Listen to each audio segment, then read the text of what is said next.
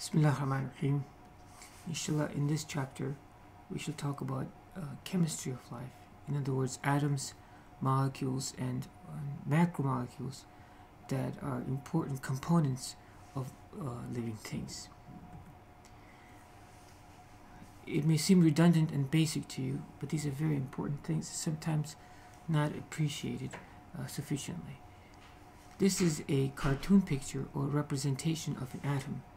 This type of a cartoon picture is called a Rutherford model or Rutherford atom. In this picture, the nucleus is, of course, in the middle, and electrons are depicted um, orbiting uh, the nucleus in a circle.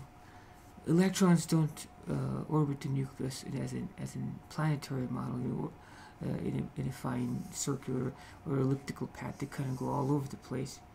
But uh, this is a model. Since nobody has ever seen an atom, all our concept of how atom might, uh, might look like are theoretical constructs, or in other words, how we think they would look like based on the knowledge that we have acquired studying their behavior. So this is a Rutherford model of an atom. As you probably know, the nucleus contains protons and neutrons and the uh, electrons uh, orbit or fly around the nucleus um, does. This is an example of a, a helium atom. Helium atom has two protons and two neutrons. As you probably also know, a proton has a positive charge, positive one charge, and an electron has a a negative charge. Now, what does it mean for a proton to have a positive charge and an electron to have a negative charge? Now, what that means is that protons are entities that are able to attract other things, kind of like magnets are able to attract other things. You can't see, so they have inherent ability, force, so to speak, to be able to uh, attract other things, but they don't attract any other things they attract only certain things. And the things that they attract are called negative charges, and the things uh, and the proton therefore are given positive charges. And somebody could have labeled them differently, but pro, uh, those entities that uh, uh, attract negative things are called positive things by default. So for an atom to for for for uh, for a proton to have a positive charge, it just means it, it attracts things that are negatively charged, just like magnets are able to attract uh, um, uh, other things. Now, what is this force of attraction? Really, we talked we talked about that there are only four types of forces in nature. There are really four types, and it's really not remarkably. There are only four types of forces in nature. Uh, first, everybody knows the gravitational force. Okay, and then there's the electromagnetic force and that's this electromagnetic force. So um, among the four forces that we know in nature, the gravitational force, electromagnetic forces, okay, and then there are two, and then the strong and the weak nuclear forces. So these are four forces of nature. In other words, uh, things fall because of gravity, right?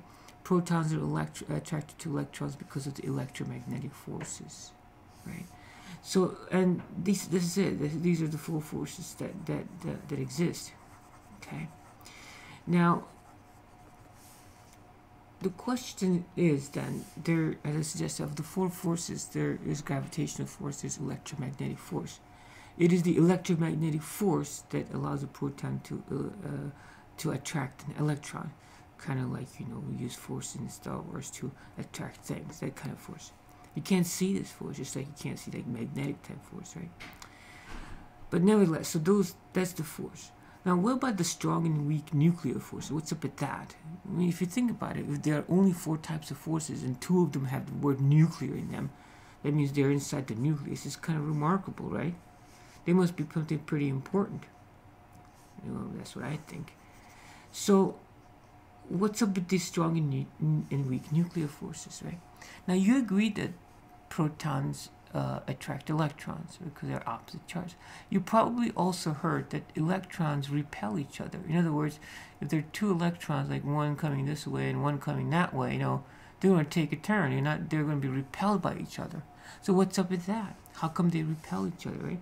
So, um, some uh, particles that have the same charge, they repel each other, right? So two electrons coming together, they repel each other. Okay. But then think about it for a second. You have all these protons in the nucleus over here. How come they don't repel each other? How come they don't move away from each other like, you know, they hate each other or something like that? They don't. Right? How come they don't? They don't because the strong nuclear forces put keep them in place. They hold them together. The strong and the weak nuclear forces are like the glue the, that keeps the um, uh, the nucleus together, and neutrons participate in keeping the nucleus together. Because you know, if how I mean, the, the the protons, if the if there's one sitting over here, one sitting over here, they're going to repel each other. Whereas a neutron is sitting in between them, uh, that keeps this nucleus uh, more stable. So that's important to understand, I think, uh, because uh, electrons are attracted to protons and protons are attract, attract to electrons, but protons are repelled by other protons, but yet there they are, all huddled together in the nucleus. Okay, that's because of the other two great forces that uh, frequently do, uh, we don't talk about. So there are four types of forces, gravitational force, electromagnetic force, strong and weak nuclear forces. It is the strong and the weak nuclear forces that keep uh, the nucleus together and which is and those are not to be messed with because they're very powerful in their own way okay? Because it takes a lot of energy to keep those two protons in the middle of the nucleus. In fact that is the energy that is harnessed to make atomic bombs and things when you split nuclei or uh, combine nuclei. So there's a lot of energy stored in there. Now in terms of of the size see the mass of an electron is only one two thousandths of the mass of a proton. In other words, it would take approximately 2,000 electrons to make up the mass of a proton. So electrons are tiny little thingies, so very tiny little things. But yet, you know, in terms of the charge, they they're equal charge. In other words, protons' ability to electrons is equivalent to electrons' ability to attract proton, so to speak. Yeah they're like equally strong. They can lift the same weights at the bench, so to speak. So it's, it's they're tiny but powerful. So they're one two thousandths the size of the proton. Uh, uh, uh, now the protons and neutrons are approximately the same uh, uh, mass. And the mass of the proton equals the mass of the neutron approximately. They're essentially the same. Okay? So this is the basic structure of an um, of an atom. Now, one last thing before I go on from this is this this is not an accurate depiction of, of, of this is of course we said this is a model. Models are meant to uh, to uh, give a conceptual representation, not a real actual. Compared to the to the electron, the space it floats in, the nucleus occupies like that much of space. In other words, 99% of the space here is actually empty. It's like playing ground for the electrons moving about, okay? So 99% of the, of the is, is space around the atom is actually empty. Uh, that's where the uh, electron flies about, okay? And uh, electrons, as I said, they don't go in, a, in, in an orbit like the planets do around, the, uh, on Earth, okay? They're kind of flying about all over the place. So 99% of an atom, in fact, is like empty space okay? And the nucleus is a very tiny dense part of, of, of the atom right? Now here are some basic uh, atoms. So a hydrogen atom is a proton with an electron whizzing by okay? Now now you might also say why does the electron like go whizzing by if they like each other so much? Why doesn't it just just go in there like you know hug it, you know, each other and let's you know, be a happy couple or something like that well, that doesn't happen, okay? Because electrons, they're just they're quite amazing things. electrons, they whiz by. So they, they're extremely fast. Like they go around like you know uh, millions of times, like a second or something like that on the proton. So they don't go like this. They go like okay, they want. To, so let's say this electrons want to be. There's nothing but that electron wants more than just to be with the proton. Okay, right? That's what's like. It's it's like its life goal, right? So, but here's they're so fast. They come over here. They they, they overshoot. They they want to, but it's so fast. It's like going towards the protons at a million miles per hour. Before they put the brakes on, it's all the way over here, and it goes turns around like this. So it's it's it, um, uh, it's it's it's like that. So they're extremely fast. There's a lot of kinetic energy. They're moving about like like all over the place. Okay, so uh, that's why that's why it's it's like that. Now, so this is the hydrogen atom with one proton and uh, one electron. This is a helium atom over here. Helium atom has two protons, two neutrons, and one electron. Notice the hydrogen atom does not have a neutron. It commonly does not have a neutron. It can have a neutron, but it doesn't have to have a neutron. And uh, usually doesn't. Okay. Now, so this is a helium that you see on the right side. Okay, so two protons and two electrons. Okay. So the number of protons in an atom equals the number of electrons in an atom. Okay. The number of protons in an atom does not have to equal the number of neutrons in an atom, but protons and electrons are same. So if an atom has two protons, it will have two electrons. If it has 37 protons, it will have 37 electrons. Now, what if an atom has more electrons, okay? Well, then they start filling in around orbits around the atom like this, okay? Now, what you notice over here is that the first orbit here around, around the atom can only hold two electrons, okay? Can only hold two electrons. See that one over there? Okay. Now, if an atom, for example, this atom over here has three, this is lithium atom, has three protons, it's going to have three electrons. So two of the electrons are going to, going to go in the first orbital, n equals 1, the first orbital. And the third electron has to go in the second orbital. Okay? Why so? Why can't they just go over here or something like that? No? The reason is because it's too cozy. Okay? Because remember, electrons repel each other. So if there's a third one here, there's too much repelling over here for them to hang out in the same orbit like this, okay? So the or the first orbital, the one that's closest to the nucleus, okay, can only accommodate two electrons because any more electrons than that would start repelling each other. So the third electron goes in the second orbital like this. Now the second orbital, as you see, is much bigger than the first orbital, and in fact it can accommodate up to eight electrons. It can potentially accommodate up to eight electrons. The third orbital, the same, it can hold up to 8 electrons. Now here's one, two, three, four, five, six. This is carbon. The carbon has 6 protons, therefore it has 6 electrons. And you will notice the first two here will go in the first orbital. The next four, four remaining electrons will go in the second orbital, right? So carbon has 6 protons, therefore it will have 6 electrons, okay? So the first two electrons will go in the first orbital. The next four will go in the second orbital. Okay? Now, now protons are attracted to electrons, electrons are attracted to protons.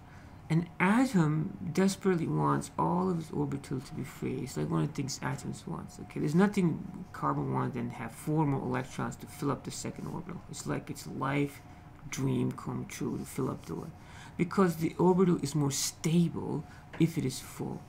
Orbitals that are not full are not uh, uh, uh, are not stable orbitals. Okay. In terms of their electrical forces uh, uh, combinations, I guess. So, an atom wants stability. Okay. Protons wants to, positive charges want to be with electrons. Okay, be stable, and the atom wants to, to be uh, uh, have full orbitals. So if this carbon had its way, it would somehow get four electrons to fill up its second orbital, okay? Okay, so we talked about hydrogen having one electron, it's, then a helium having two electrons, that will fill its first orbital. Lithium, which has three electrons because it has three protons, will, will start filling the second orbital. Now, beryllium, which has four, will start filling its uh, uh, second orbital. This is boron, and this we talked about carbon, nitrogen, and then oxygen. Some of the atoms, of course, are, are, of more interest to us than others. Carbon is, oxygen is, and hydrogen is because component of organic molecules in air and water. And um, so oxygen has six electrons in its outer orbit so it would its desires its uh, dreams are to get two additional electrons somewhere somehow to fill up that second orbital then it will be happy so if you continue like this so carbon nitrogen oxygen over here and then fluorine see fluorine is interesting like in you know fluorine is like in your toothpaste and stuff like that um, fluorine is here. It has seven electrons. It really, really, really wants to have one more electron to fill its outer orbital. And then there's neon. See, neon is is interesting because it has first orbital here with two electrons. Second orbital is full with um, eight electrons. So neon is like a happy gas. Okay, neon is a noble gas. That's what they're called noble because they don't react. The reason they don't react is because their orbitals are full. An atom that has a full orbital, okay, will not react. Uh, that is, an atom that has a, com a, completely full orbital in its natural state, like neon. See, neon is an inert gas, right? It's an inert gas. In other words, it's not going to cause many chemical reactions. Just like helium is. You know helium balloons, right? People people inhale, kids inhale, inhale helium, they sound funny, right? When they call it funny because it too has two uh, uh, uh, first first orbitals full, and that's all it is. So its orbitals are full, therefore it's not not going to react. So neon is a noble gas because its orbitals are full and it's a happy gas. So uh, an argon is the same way. That's another noble gas because its its its orbitals are also full. Okay. So an atom that has co completely full orbitals in its natural state will not react. Now look at this over here. This tells you that there are 10 protons, therefore that must have 10 electrons, right? So two of them are going to go over here, and then the eight are going to go to fill the second orbital. Now this is sodium. Sodium now the second orbital is full, see? The second orbital is full. So the sodium, to put the next electron, it has to use a, a third orbital, okay? So it has to open up a new store, new orbital, so to speak, and put the third orbital. Now, as I just suggested, uh, the atom's greatest wish is to have full orbitals, right? They want to have completely full orbital, correct? And I said, uh, for example, that carbon wishes to have like four additional electrons, right? And and and and uh, uh, fluorine desperately wants to have one more electron over here, and sodium is equal. Now look, fluorine is looking for one electron, right? Okay, fine. So it can go get this electron, be happy. Look at sodium here. In its third orbital, it has one electron. For it to fill this this third orbital, it will have to get seven electrons. So fluorine is looking for one electron, and sodium is looking for seven electrons. Now, fluorine, I don't know about you, but it's pretty intuitive to me because it's going to be easier to find one electron than to find seven electrons. Who's going to give sodium seven electrons, right? So, so fluorine is going to have a hard time filling this orbital. Okay, fluorine is going to have easier time filling the orbital. On the other hand, if the sodium were to get rid of this electron, then it will have first orbital and the second orbital will be full. You'll have one less orbitals, but at least its wish will be kind of come true because all the orbitals that remaining that it has are full. So sodium is not going to be able to get seven electrons. Tough luck, dude. But it's it will it's going to be easy for it to get rid of that electron. Okay, to an atom that perhaps is looking for one electron, like fluorine, for example, that you find in your toothpaste, sodium fluoride. So is magnesium. Now look, so hopefully you appreciate that. So orbitals orbitals fill like this. Now this picture that I had before, okay, this shows you how orbitals fill. Two go in the first one, eight go in the second one, and then eight go in the third one, and then this one has three extra electrons on the outside. Now, one thing I just wanted to also share with you. I want to wait till it's, uh, excuse pardon me for one sec. So here's orbitals filling. Now, the electrons that are on the more outermost electrons, the ones that are all the way out here, on uh, most outermost shell, there are called valence electrons. And this is a very important term that you must know. And the outermost shell is called the valence shell. Now the reason this is particularly important is because an electron may have like, you know, 37, an atom may have 37 electrons, but none of them are going to matter except for the ones that are on the outside because they are the only ones that participate in chemical reactions. So it's only the valence electrons that participate in chemical reactions. So who cares about all the inside electrons? See, look at this one. This, this, this electron, this electron, this electron, this, uh, they're part of a shell that's full. The atom is not going to mess with those. The only electron that's going to participate in the in chemical reactions for sodium, for example, is the valence electrons, the outermost ones. All the inside ones are not, not going to participate in chemical reactions. That's very important. To appreciate it is the, only the valence electrons that participate in chemical reactions. That we must appreciate. Now that's just that electrons don't move in like planet uh, in planetary orbits, but what they do is they do one of these numbers. They kind of go like this, or this, you know, they move about more like that. And the space that they occupy is called an electron cloud. See, so electron cloud represents the area or the region around the nucleus where an electron are likely to be found, right? So this this is electron cloud for, for this particular atom. Electron is not going to be found over here for this atom because then it's going to be lost. How's it going to come back from all the way over there, right? So electron cloud is the region of, uh, of the nucleus where, where an electron is most likely to be found, okay? Electrons, as I said, they do more like this. They, they're not like, you know, nice, neat orbits. So this again is the Rutherford model. This is a conceptual model that helps us understand how uh, uh, an atom uh, uh looks like uh, and, be, and, helps us explain how it behaves in a simplistic uh, cartoons type drawing. Atoms really don't actually look like, and I think you appreciate that.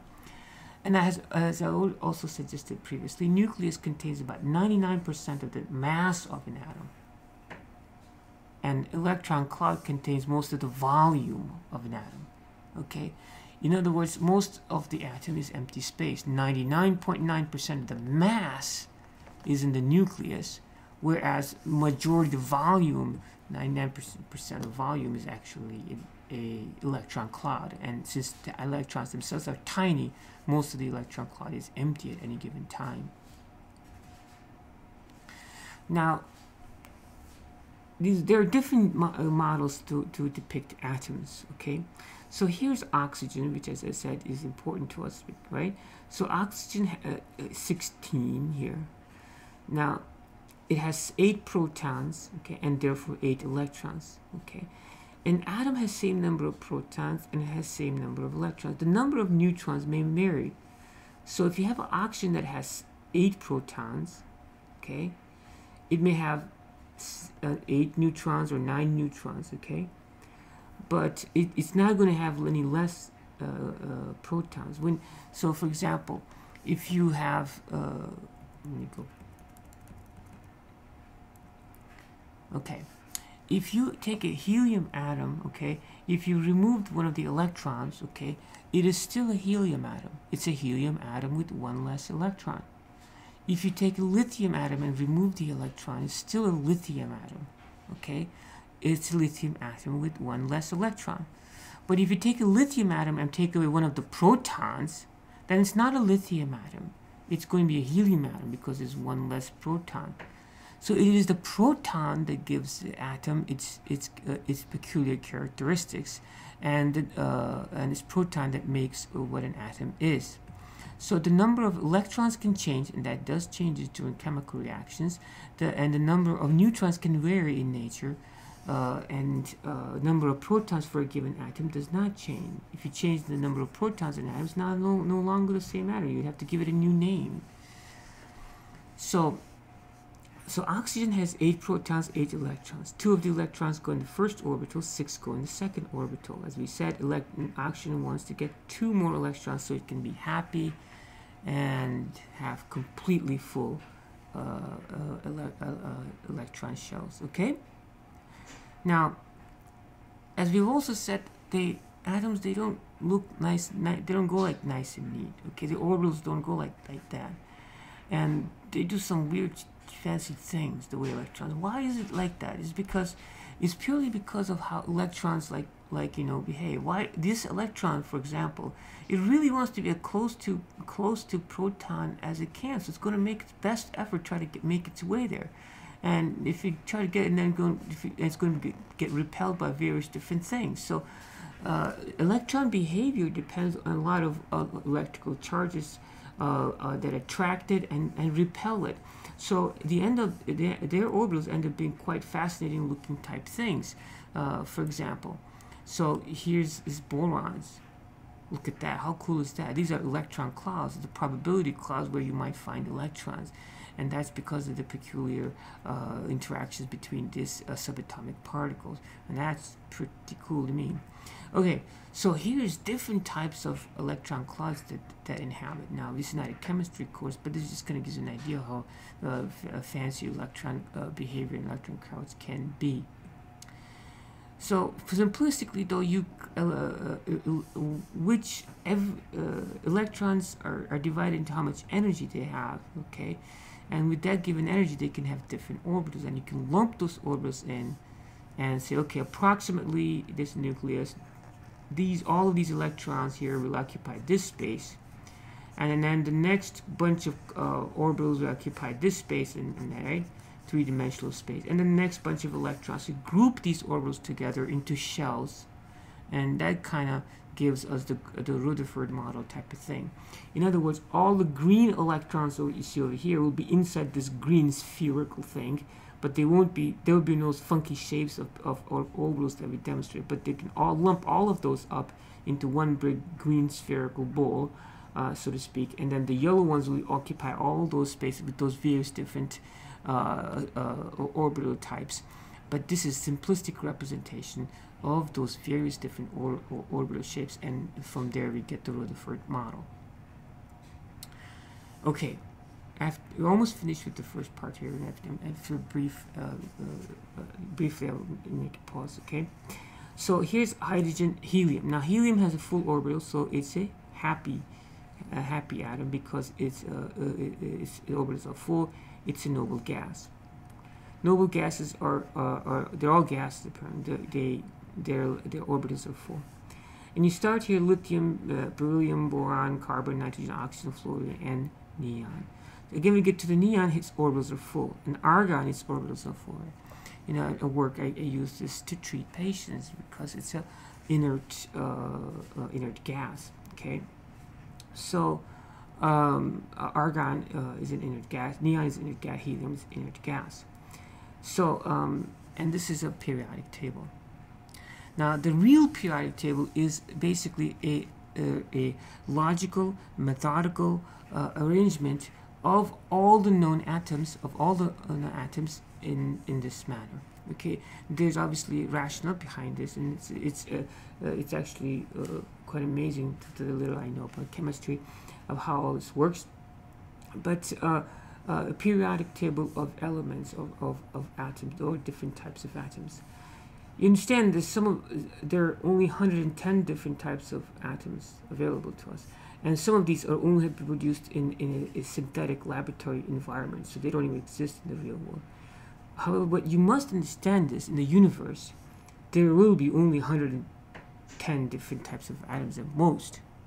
Okay? In other words, this is these are all the atoms that you will ever find in the universe. So if you go to other other part of the galaxy or different galaxies, you won't find other atoms that are unknown to us. They will be like this. How do we know this? Because you can study distant stars from from the light they emit, etc.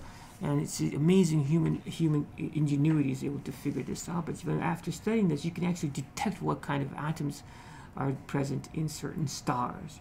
So the number of atoms in the universe that, uh, that exist are right in front of you, right there. So periodic tables are arrange the atoms in orderly fashion. And they usually there's a key like this that tells you what each numbers mean because the numbers can be arranged in a different way. There are two things that you have to know about the basics of this. And this first is the atomic number. It's like a name, right? What's your number? What's your serial number, soldier? That's like this. Every soldier has a number. Every atom has a number. That's its atomic number. Okay, it it equals the number of protons that are in the atom. The number of protons. So the this is aluminum atomic number is 13. That means it has 13 protons. Carbon's atomic number is six. Means it has six protons. This other number over here is atomic mass. Now this is basically the uh, protons plus neutrons uh, plus the little bit of electrons. That, that we said electrons don't contribute much to to the uh, to the the mass of an atom. So you can say simplistically that this is protons plus uh, protons plus neutrons. So atom's mass is basically the protons and neutrons, right?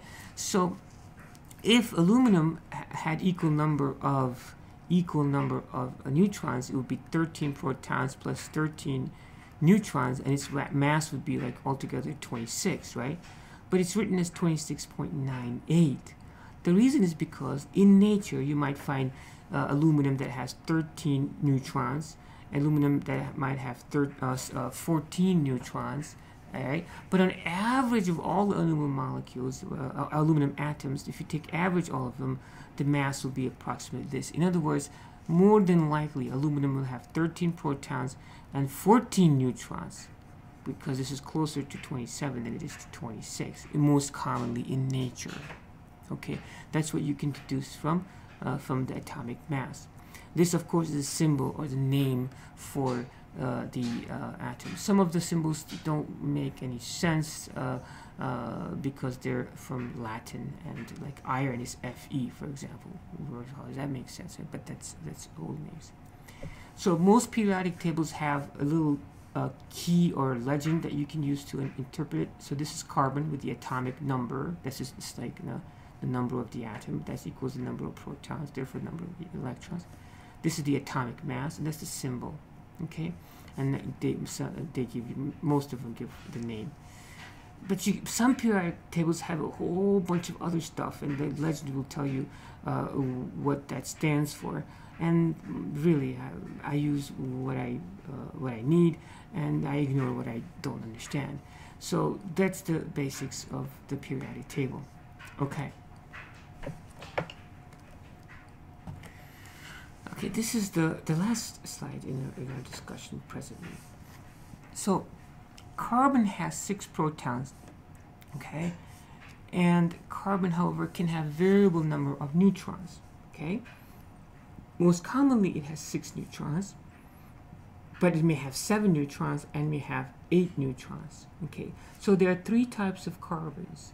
There's carbon with the regular 12 neutrons, there's carbon with 13 neutrons, and there's carbon with 14 neutrons. So a same atom with different number of neutrons is called an isotope. So carbon uh, commonly has three isotopes. Carbon with carbon, regular carbon is carbon 12, but so you don't call it carbon 12 because that's the normal carbon.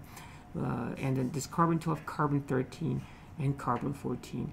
And carbon 14 is radioactive used for radioactive dating, etc. So um, isotopes are atoms uh, uh, uh with, uh, with different number of neutrons. Carbon 13, carbon 14 is, is a great example of isotopes. Inshallah, next time we talk about uh, the different types of bonds that exist between atoms. Until then, as-salatu ala